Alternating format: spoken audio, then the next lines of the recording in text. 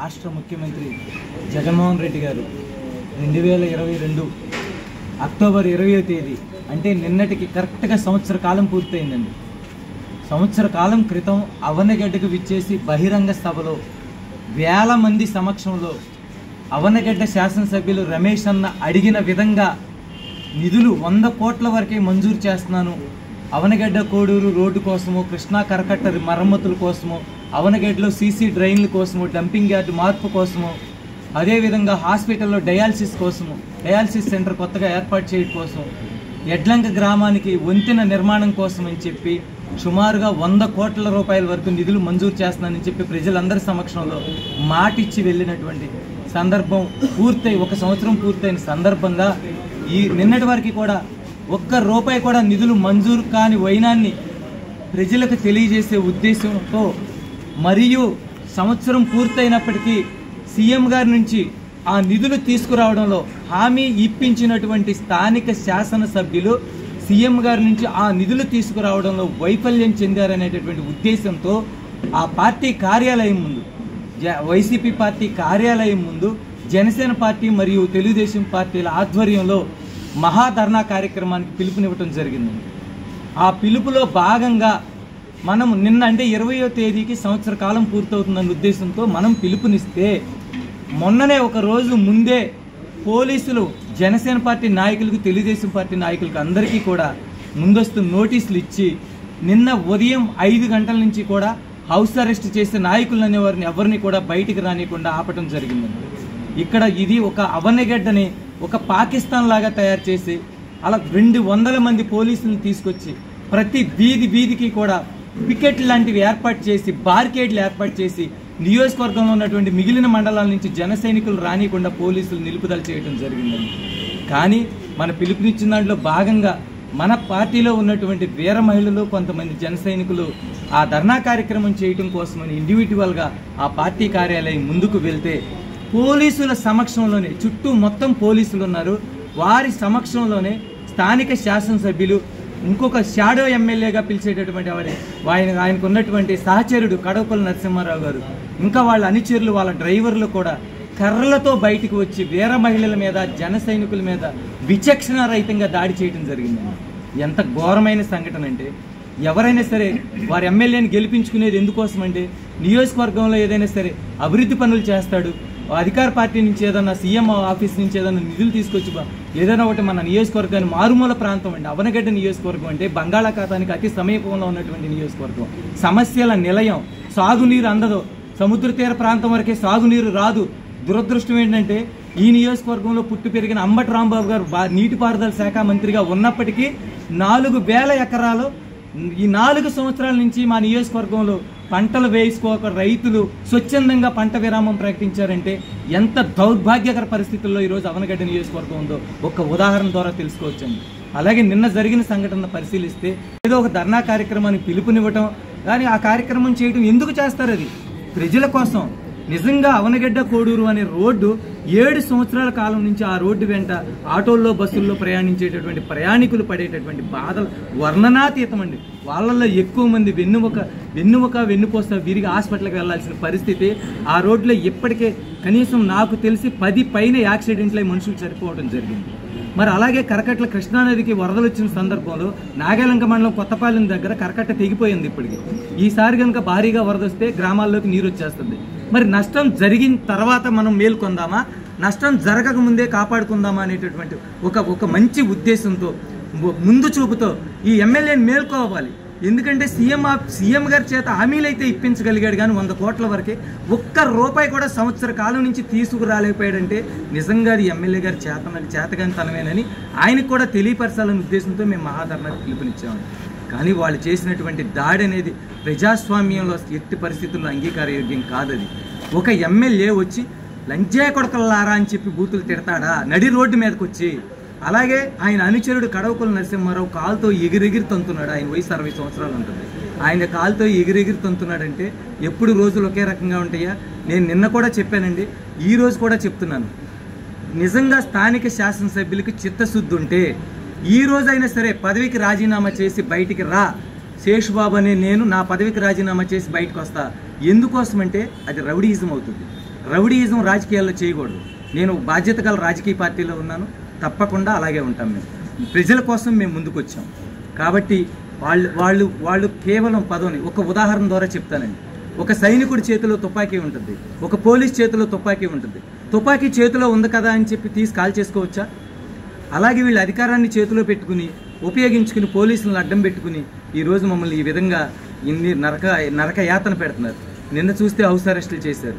ఈరోజు చూస్తే ఉదయం గుడికి వెళ్దామని చెప్పి ఇట్లా రెడీ అయ్యి చెప్పి రెడీ అయ్యి మేము ఆ సామాగ్రి గుడికి వెళ్ళే సామాగ్రి అవి తీసుకుని బయలుదేరితే ఉన్న పళంగా అందరినీ ఎవరిని రానికుండా హఠాత్తుగా జీపులు ఎక్కించి తీసుకెళ్ళి ఉదయం నుంచి కూడా ఎక్కడో పోలీస్ స్టేషన్లో పెట్టి ఈ రోజున పూర్తిగా ఎంత ఇబ్బంది పెట్టాలో అంత ఇబ్బంది పెట్టారండి. ఇది ప్రజాస్వామ్యం వల్ల మంచి పద్ధతి కాదు. అయినప్పటికీ ఈ వైసీపీ పార్టీ ఎన్ని రకాల దురాగతాలకు పాల్పడినప్పటికీ మాకు జనసేన పార్టీ పూర్తిగా అండగా ఉంది. నిన్నటికి నిన్న పవన్ కళ్యాణ్ గారు నోటీస్కి వెళ్ళింది. రాత్రి ప్రెస్ నోట్లో అవనగడ్డ ఇష్యూ గురించి మాట్లాడటం జరిగింది. నాదెండ్ల మనోహర్ గారు స్వయంగా కాల్ చేసి నాకు అక్కడ ఇక్కడ గురించి యోగక్షేమాలన్నీ కూడా అడిగి తెలుసుకోవడం జరిగింది. ఎవరైతే దెబ్బలు తిన్నటువంటి బాధితులు ఉన్నారో వీర మహిళ రాజ్యలక్ష్మి లాంటి వాళ్ళతో డైరెక్ట్గా కాల్ చేసి మాట్లాడారు నాదెండ్ల మనోహర్ గారు. అలాగే జిల్లా కమిటీ సభ్యులు రాష్ట్ర కమిటీ సభ్యులు మా రాజేష్ గారు ఇట్లా పవన్ గారు నియోజకవర్గాలు ఇన్ఛార్జీలు మొత్తం నిన్నైతే జిల్లా అధ్యక్షులు గారి ఆదేశాల మేరకు జిల్లా కమిటీ సభ్యులు ఇట్లా మా బండ్రెడ్డి రవి గారు వీళ్ళందరూ కూడా నిన్న ఇక్కడికే వచ్చి సంఘీభావం. కొరియర్ సీను గారు అయితే ఇప్పటికి మూడు సార్లు మా దగ్గరికి ఇక్కడికి వచ్చి వెళ్ళటం జరిగింది. కానీ పోలీసులు ఎక్కడికక్కడ ఆపుదలు చేసినప్పటికీ వివిధ ప్రయత్నాల ద్వారా వాళ్ళు మా దగ్గరికి రావడం జరిగింది. ఈరోజు కూడా ఉదయం నుంచి పూర్తిగా నేను నాకు అందుబాటులో లేనప్పటికీ మాకున్నటువంటి మా మిగిలిన మండల పార్టీ వాళ్ళతోనూ వాళ్ళతోనూ కూడా పార్టీ ఆఫీస్ కేంద్ర కార్యాలయం నుంచి ఎప్పటికప్పుడు రాజేష్ గారి ద్వారా ఇట్లా వీళ్ళ ద్వారా ఎప్పటికప్పుడు ఏకక్షేమాలు అడిగి తెలుసుకోవడం జరిగింది. ఇందులో చెప్పొచ్చేది ఏంటంటే వైసీపీ ఎన్ని దురాఘాతాలు చేసినా ఎన్ని రకాల అరాచకాలు చేసినా ఎన్నిసార్లు మీరు మమ్మల్ని పోలీసుల ద్వారా నిర్బంధించాలని ప్రయత్నం చేసినా మేము ప్రజల పక్షాన పోరాడతాము. మా పార్టీ మాకు ఎప్పుడు ఎల్లప్పుడూ తోడుగా ఉంటుంది. ఇప్పుడు మా పార్టీకి ముఖ్యంగా పవన్ కళ్యాణ్ గారికి ఏకక్షేమాలు తెలుసుకున్నటువంటి పవన్ కళ్యాణ్ గారికి నాదెండ్ల మనోహర్ సార్కి అలాగే మా రాష్ట్ర కార్య పార్టీ రాష్ట్ర కార్యదర్శి మండల్ రాజేష్ గారికి మా లీగల్ సెల్ టీంకి నాంచారి నాయుడు గారికి ఇట్లా ప్రతి ఒక్కరికి కూడా ఎవరైతే జిల్లా కమిటీ అధ్యక్షులు బండ్రెడ్డి రామకృష్ణ గారు పంపించినటువంటి టీం సభ్యులు అందరికీ వివిధ నియోజకవర్గాల నుంచి వచ్చినటువంటి మా మా నరేష్ అన్న ఇట్లాగే పవన్ అన్న కొరియర్ సీన్ అన్న ఇట్లా వీళ్ళందరికీ కూడా అవనగడ్డ నియోజకవర్గ జనసేన పార్టీ తరఫున మనస్ఫూర్తిగా ధన్యవాదాలు తెలియజే మరొక చిన్న విషయం ఏంటంటేనండి నిన్న జన సైనికులు వీర మహిళల మీద జరిగిన దాడికి నిరసనగా జనసేన పార్టీ మరియు తెలుగుదేశం పార్టీలు సంయుక్తంగా అవనగడ్డ పంచాయతీ పరిధి వరకు బంధుకు పిలుపునివ్వడం జరిగింది. స్వచ్ఛందంగా షాపులు దుకాణదారులు అందరినీ కూడా వారంతట వారిని మూసివేయాలని మేము రిక్వెస్ట్ చేయడం జరిగింది. ఆ రిక్వెస్ట్ను మన్నించి అవనగడ్డలో ఈరోజు ఇప్పుడు మా మన వాళ్ళ ద్వారా తెలిసిన విషయం ఏంటంటే సెవెంటీ ఫైవ్ పర్సెంట్ షాపులు వాళ్ళంతట వాళ్ళు స్వచ్ఛందంగా మూసివేస్తారు పోలీసులు ఈరోజు ఉదయం నుంచి కూడా రెండు వందల మంది పైన పోలీసులు కవాతు నిర్వహించి ఎవరికి వాళ్ళు షాపులు ఓపెన్ చేసుకోవచ్చు మేము మీకు తోడుగా ఉంటామని చెప్పినప్పటికీ బంధును పాటించినటువంటి దుకాణదారులు వీరందరికీ కూడా జనసేన పార్టీ తరఫున మనస్ఫూర్తిగా ధన్యవాదాలు తెలియజేస్తా ఉన్నాను. ఇది ఎందుకు సంకేతం అంటే ప్రజలు మా పక్షాన ఉన్నారు అంటానికి సంకేతం. కేవలం ఒక్క పిలిపిచ్చామండి ఏ షాప్ దగ్గరికి కూడా వెళ్ళి బలవంతంగా చేయలేదు వారిని ఫోర్స్ చేయలేదు ముయ్యమని షాపుల దగ్గరికి కూడా వెళ్ళి చెప్పలేదు. కేవలం ఒక ఒక పిలుపుతో డెబ్బై ఐదు శాతం పైన ఎమ్మెల్యే ఇంకొక విషయం ఎమ్మెల్యే వారి వారి షాడే ఎమ్మెల్యే ఇద్దరు కూడా ఉదయం లేచిన దగ్గర నుంచి కాల్ చేసి షాపుల వాళ్ళకి మీరు ఓపెన్ చేయండి మీరు ఓపెన్ చేయండి మేము ఉంటామని చెప్పారంట. అది కూడా తెలిసింది కానీ దుకాణదారులు అందరూ కూడా షాపుల వాళ్ళు అందరూ కూడా స్వచ్ఛందంగా బంద్ పాటించినందుకు మనస్ఫూర్తిగా ధన్యవాదాలు తెలియజేస్తానండి. ఇంకొక విషయం ఇప్పుడే తెలిసిందండి. జిల్లా పార్టీ అధ్యక్షులు నిన్న మా బండెడ్డి రామకృష్ణ గారు నిన్న అందుబాటులో లేకపోవడం కారణంగా వారి అనుచరులందరినీ కూడా జిల్లా కమిటీ సభ్యులందరినీ కూడా మా దగ్గరికి సంఘీభావం కోసం నెక్స్ట్ భవిష్యత్ కార్యాచరణ కోసం పంపించడం జరిగింది. ఈ రోజైతే వారు వచ్చిన వెంటనే డైరెక్ట్గా మా ఇంటికి వచ్చారని తెలిసింది. వచ్చిన వెంటనే పోలీసులు ఆయన కూడా అరెస్ట్ చేసి మచిలీపట్నం తీసుకెళ్ళారంటండి. వారికి మా మా మాకు వెన్నంటే ఎప్పుడు కూడా జిల్లా పార్టీ అధ్యక్షులు బండెడ్డి రామకృష్ణ గారు ఉన్నారు. వారికి కూడా అవనగడ్డ నియోజకవర్గ జనసేన పార్టీ తరఫున ధన్యవాదాలు తెలియజేసుకుంటాం మనం చూసాం నిన్న ఇవాళ పోలీసులు మరి మితిమీరి ప్రవర్తిస్తున్నటువంటి సంఘటనలు. స్థానిక ఎమ్మెల్యే గారు మరి చిల్లర రౌడీ రౌడీ కంటే దారుణంగా మరి రోడ్డు మీదకి వచ్చి కర్రలు పట్టుకుని వచ్చినటువంటి సంఘటనలు చూసాం. ఈరోజు పొద్దున్న మరి శేషుబాబు గారిని అరెస్ట్ చేయడం జరిగింది. మరి వారికి సంఘీభావం తెలపడానికి ఇక్కడికి వస్తే ఇక్కడ అందరినీ అరెస్ట్ చేయడం జరిగింది. తీసుకుని మచిలీపట్నంలో డ్రాప్ చేశారు పోలీసులు అరెస్ట్ చేసి. ఖచ్చితంగా ఇలాంటి ఆగడాలు ఖచ్చితంగా ఆగాలి. ప్రజాస్వామ్యంలో ఉన్న ఉన్న సంగతి మర్చిపోయి ఇక్కడ స్థానిక ఎమ్మెల్యే గారు అలాగే వైసీపీ ప్రభుత్వం మరి పోలీసులు వాళ్ళ సొంత ప్రైవేట్ ఆర్మీలాగా వాడుకుని మరి జనసేన పార్టీ మీద ప్రత్యేక ప్రత్యర్థ పార్టీల మీద వాళ్ళ ప్రతాపం చూపిస్తూ ఉన్నారు. ప్రజలందరూ గమనిస్తూనే ఉన్నారు. ఖచ్చితంగా ఇలాంటి ఆగడాలు ఆగాలి.